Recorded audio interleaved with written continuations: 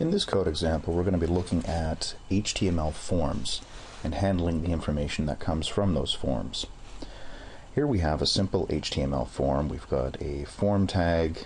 Inside that, there's a few divs.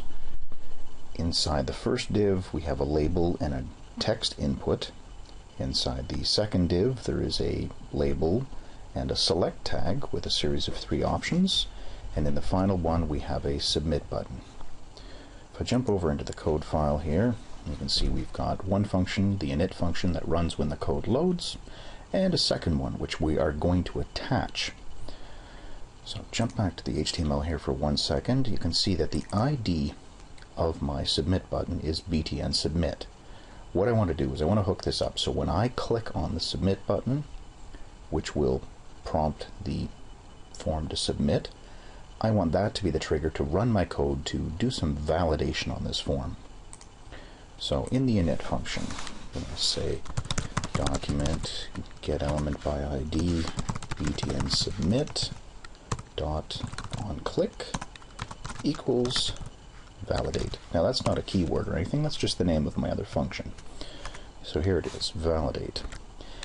Inside this function, just to check to see that this is working, put an alert box and I'm going to jump over to my browser.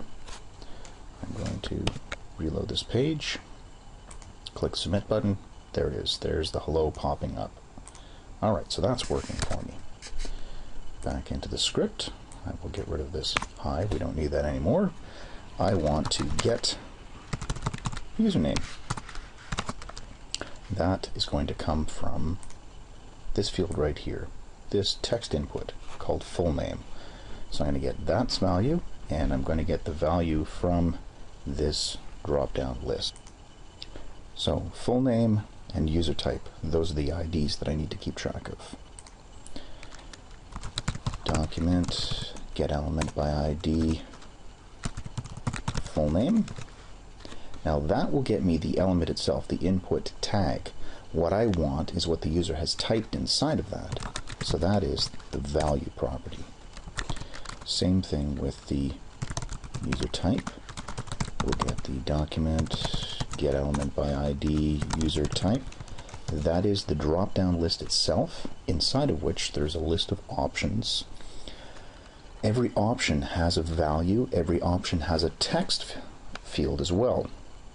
What I want is from the select tag, the thing that contains all the options, its value property. It will have the value that the user has selected from that list. So here we're going to check this out, save that, jump back over the browser, reload, refresh this. Okay, there we go. So I'm going to type in Bob, and in here I will click on Silver, click Submit, Bob 2.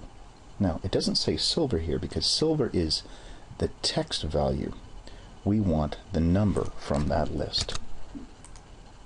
So back here in the web page, there in the script, username, user type, the values coming from those two fields. If we jump back into the HTML, here's the select called user type, and you can see the value 2 is what's matched up with silver. That's what we're getting from this form, is the actual value, not the text amount. Okay, so we know that we can get those two values. Now, if I want to prevent or allow the form to submit, what I'm going to do is I'm going to check to see if the username is empty. So username is a string. It's the value that comes out of that full name field. Strings have a length property which tells us how many characters long it is. I'm going to be putting that inside of an if statement. So if username.length is greater than zero, meaning they've typed something, we're going to allow the form to submit, else prevent the form from submitting. So that's what we want to do here. Right, how do we do that? If we want to allow the form to submit, we return the value true, and we return the value false if we want to stop it. So this is going to return the value from the function, either the value true or the value false. That comes back up to the top where the on click was. This goes into the submit button, and basically telling it true or false is going to either stop it from doing what it was going to do or allow it to continue. We're stopping it in process. We're saying, okay, forget that the click ever happened. We've done some stuff, sure, but we want to stop it at this point, and that is going to make the form think that the button wasn't pressed. That is what's going to make it think that, hey, the form wasn't submitted. So if I look inside here in the HTML, there's this action field. That's where to send the form when it's submitted. I'm going to say google.ca. There we go, saved. Now, my form, if it submits, will go to Google. If it doesn't, it won't.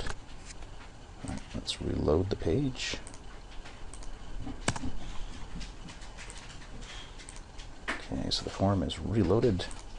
Full name, nothing inside there.